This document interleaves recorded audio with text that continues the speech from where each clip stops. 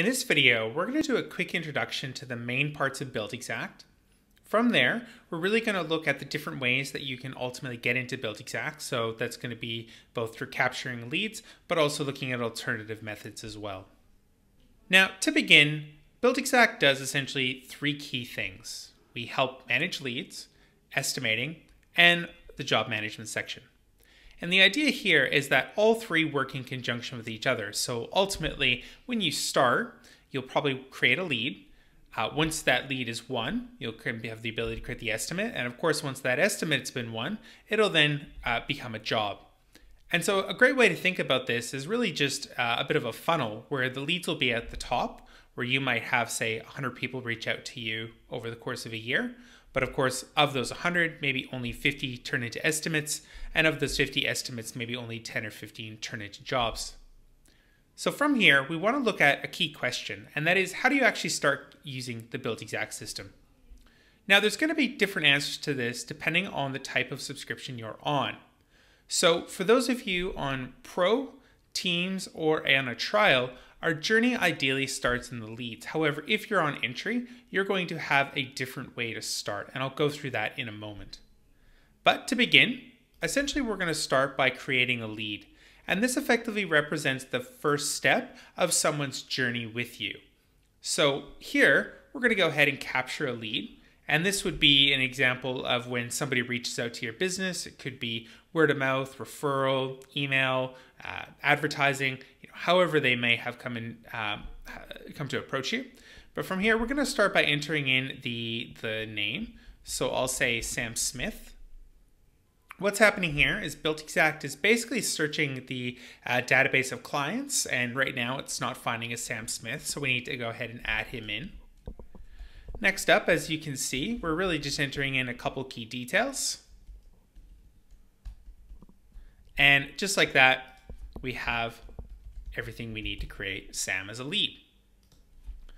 Now, once we've done that, we've effectively now created a lead for Sam, and that really then leads us uh, into the next stage. Now, we do have a separate video that goes through the lead section in more detail, including the client project here, aka the client portal. But for today, the next step in terms of getting Sam and getting an estimate started for him is to click on the Estimates tab, click Create New, and from here, you can go ahead and use a template, both the Buildxact provided ones, and eventually you'll probably build your own templates as well. So as I've selected that, I'll click Next. This is me now creating an estimate. So I'm going to give it a name, the uh, building type, and again, I can, as an optional step, again, further indicate how they might have heard about us. Once we've done that, that basically creates an estimate. And we have uh, a range of videos that'll take you through uh, each of these areas and key functionality in more detail. However, for those of you on the entry plan, you're not going to have the lead section. So the question still really stands, how do you get started? Now, for those of you on entry, and really everybody, but primarily those of you on entry, there's actually three different ways to start an estimate. For here, right to start, we're in the estimate section. And the first way we can create a new estimate is actually by copying a previous one, which we can do by clicking this little blue button here. Now, this is quite common when potentially you get uh, a, a, new set of plans across your desk and it looks pretty similar to uh, an estimate you might have done in the past. So you may find that the easiest way to, to create that new estimate is just by copying an old one. Or this is also quite common where maybe you want to take uh, an old estimate and essentially convert that into a template where the first step is to basically make a copy of that.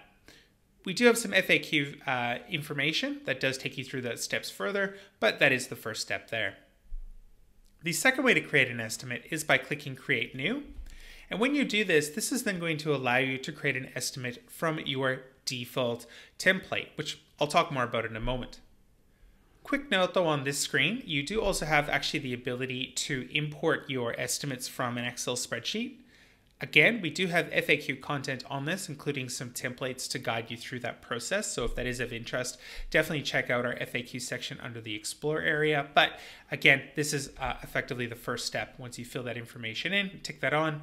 Once you click OK, it'll then take you through that import process. Now the third and final way is going to bring us into the secondary navigation where we're going to click on templates. By the way, this is our default template. Uh, we can tell because it says default and this little pin is pressed in. So if we want to change that default template, all we need to do is click that little pin in and that will then reassign that template as the default template.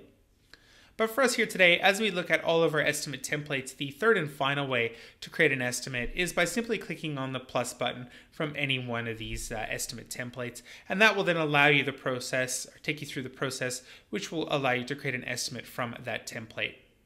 And that's how to get started you